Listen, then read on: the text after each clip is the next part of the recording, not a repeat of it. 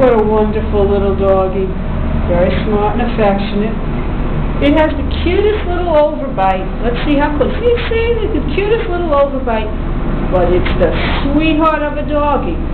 Look at that perfect sit. Look at that perfect down. Wonderful.